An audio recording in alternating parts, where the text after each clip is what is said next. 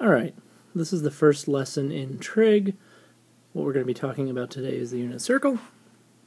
So let's go ahead and get started. Here is a circle.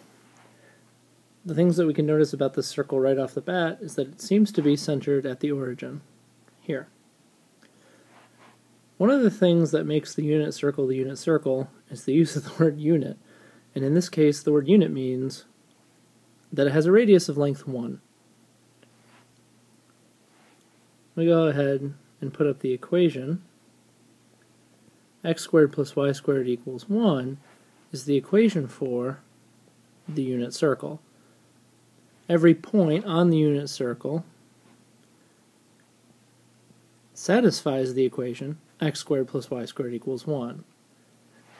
If you remember the distance formula, this just says that the distance from the origin of all points is 1.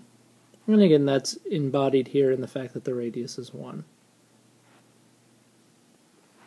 So if I go ahead, draw a new set of axes, and throw up a new circle, what we're going to do is we're going to talk about a bunch of things. One of the things we're going to talk about are some of the points that are actually on the circle. Another thing we're going to talk about is how we measure angles in the circle. Let's go ahead and start with angles whenever you take any line, starting at the origin and extending out, one thing you do is you make an angle. The angle that you make is measured first by starting in the positive x-axis direction. You then start counting in this direction until you hit the line that you just drew, and you call that angle theta.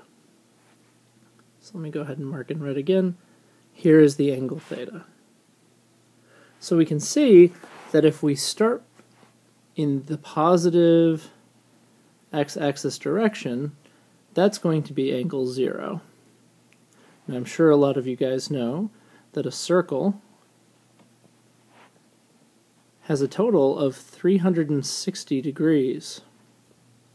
So if we march our way around the circle and we just keep going and we keep going, eventually our angle increases all the way up to 360 degrees. One of the most important things about trig, and that we're going to be learning throughout this, is that degrees aren't good enough. So we have that degrees are bad,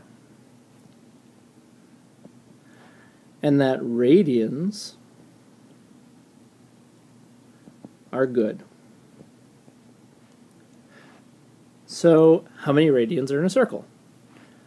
We have 360 degrees is equal to 2 pi radians. Let's talk about what that means. If I have 360 degrees equals 2 pi radians, then if I take the ratio 360 to 2 pi, and I reduce it and I get 180 to pi, what I have is that there are 180 degrees in every pi radians. What this allows me to do is it gives me hope to convert from radians to degrees. So if I take some amount of radians and I multiply it by 180 over pi, it's going to give me some number of degrees. Let's go ahead and try that. If I tell you you have pi radians, and you multiply it by 180 over pi, well, the first thing that happens are the two pi's cancel, and what I'm left with is 180 degrees. So we just showed that pi radians equals 180 degrees. Let's do this again.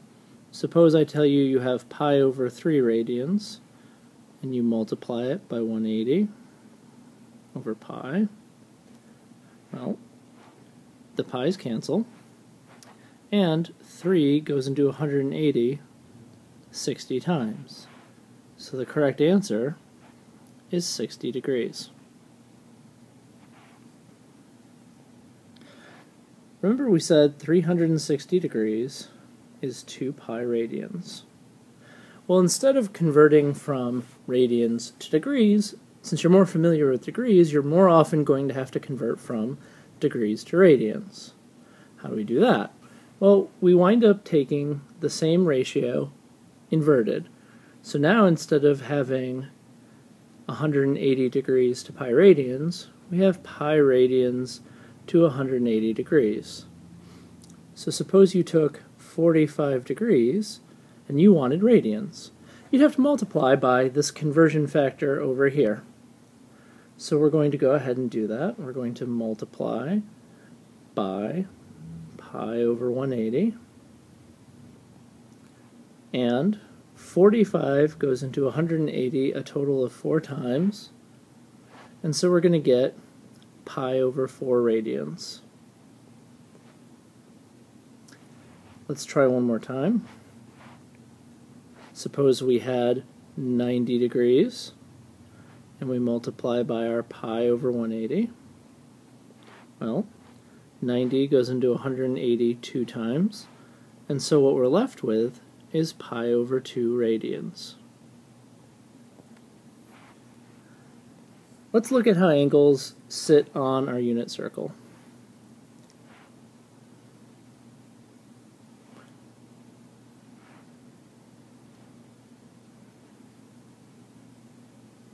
There's our circle. And remember that we said over here in the positive x-axis direction, we have a total of 0 degrees. So we also have 0 radians. Now, the entire circle is 360 degrees. A quarter of that is 90 degrees. And remember that the angles increase in that direction.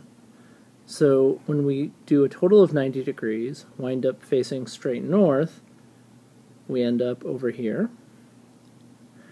And remember, we just calculated that was pi over 2 radians.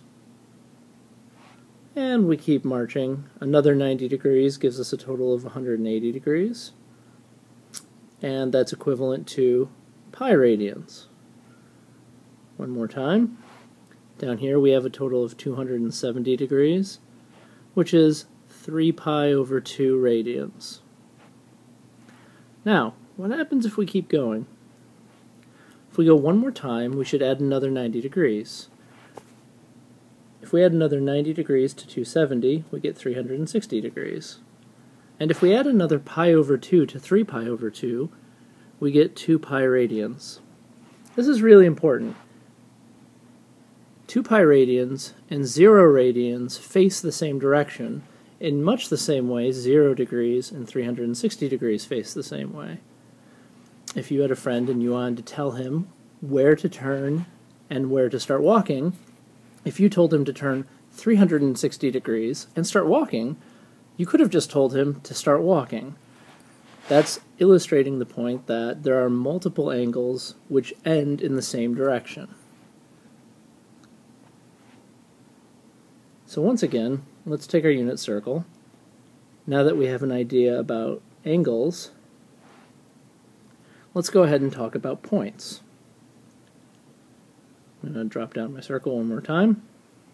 Remember, because it's the unit circle, the most important thing that you can remember is that it has a radius of 1. The line starting at the origin and ending over here in the x-axis direction also is a radius, and so also has a length of 1. That'll help us label the point over here. The point over here is 1 comma 0. If we go north, the point is going to be 0 comma 1. Over here in the west, we're going to have negative 1, 0. And down here in the south, we're going to have 0, negative 1. Those are these four points respectively. Those are really important, and they're going to come into play much more during the next uh, the next section. But for now, it's important to remember that we do know four points on the circle. We also remember that x squared plus y squared equals 1. I'm telling you that this is incredibly important. You can't possibly ever forget this about the unit circle. Let's suppose we have one of the coordinates. In particular, let's suppose that we have the x-coordinate 1 half. If I go back to the picture here, 1 half is going to be halfway between. Here is the line for x equals 1 half. If we know the x-coordinate is 1 half, we're going to know that we're going to have to be on the circle on one of these two points. So how would we figure out what the values for y are for those two points? Well, if we go back over here, we see that we're letting x be 1 half, and we have this really nifty equation sitting up here. Why don't we try plugging 1 half into the equation? 1 half squared plus y squared equals 1. 1 half squared is a quarter, plus y squared equals 1. That means y squared has to equal 3 fourths. So if y squared equals 3 fourths, we know that y then has to equal plus or minus the square root of 3 divided by the square root of 4, which is 2. So once again, let's talk about what we just did. We started with the particular coordinate, x equals 1 half. We plugged it into this equation, and then we simplified, solving for the remaining letter. We got y squared equals 3 quarters, and what that implied was that y has to equal plus or minus the square root of 3 quarters. The square root of a fraction is the square root of the top divided by the square root of the bottom, and so we get radical 3 divided by 2. And so our possible y values are radical 3 over 2 and negative radical 3 over 2. So what we just showed is that 1 half comma radical 3 over 2 and 1 half comma negative radical 3 over 2 are on my circle.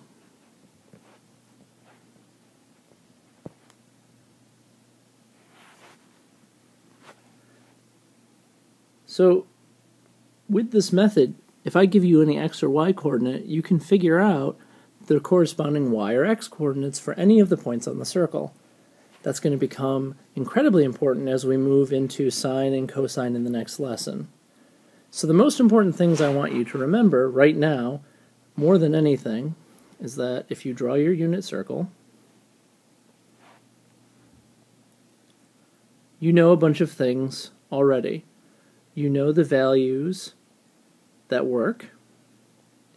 Any x or y that you pick has to satisfy x squared plus y squared equals 1.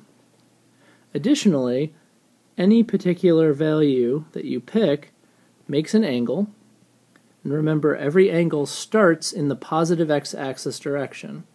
So there's always one line going in this direction, and the other line goes to your point. We always call those angles theta, and there are multiple angles which represent the same one, because whenever you go to the terminal edge of the angle, you could have also gone around a whole extra 2 pi more, or you could have gone an extra 4 pi more, or an extra 6 pi more, and so on. All of those angles end at the same point. So we have x squared plus y squared equals 1, the angles are measured a specific way. Many angles end in the same place.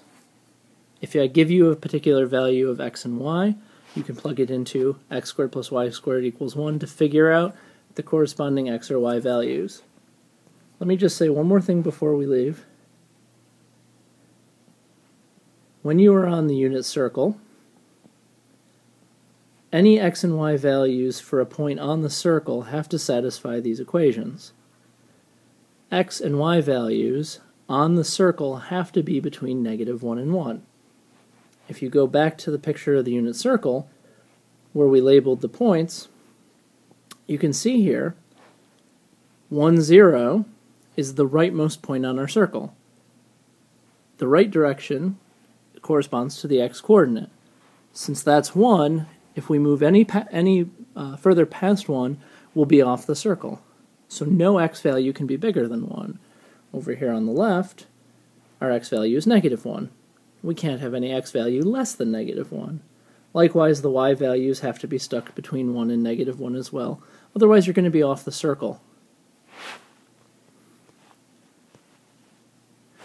These equations are going to be incredibly important as we move into the next section too. So I'm going to go ahead and wrap up.